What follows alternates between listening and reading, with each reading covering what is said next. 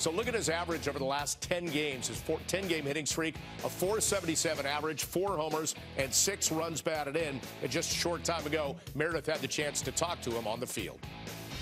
Giancarlo, with the history between these two teams and the events that transpired over the past couple of years, did tonight feel like a much bigger game than a typical May baseball game? Oh, yeah. Oh, yeah. Uh, the fans uh, brought the noise tonight. Um, the energy was unreal. Uh, it's uh, what we've been waiting for for a few years, actually, um, and what they've been waiting for. So uh, I'm, I'm, sure it felt good for them uh, to be able to come out here and express how they feel. And, um, yeah, we got two more. You mentioned the fans and the energy. How much as a team do you feed off of that when they're in it from the first pitch? Uh, that's amazing. That that that was playoff energy. Uh, even though we're not um, full capacity here, that that, that was fun. Uh, they brought the noise. Another great night for you at the plate. Four for five, three RBIs. What do you attribute your success at the plate, and how have you been able to be so consistent over the last week and a half, two weeks?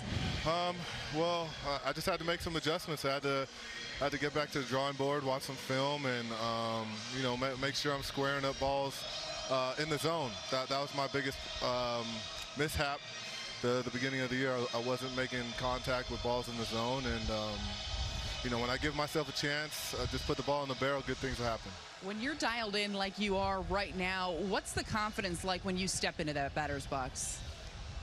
Uh, the it's just don't deviate from the plan. You know, um, the, this game's so tough. If it doesn't matter how good you feel out there, some days uh, it's just not going to happen. So um, it's work with your plan and, and be confident and and make sure you're on time. Really.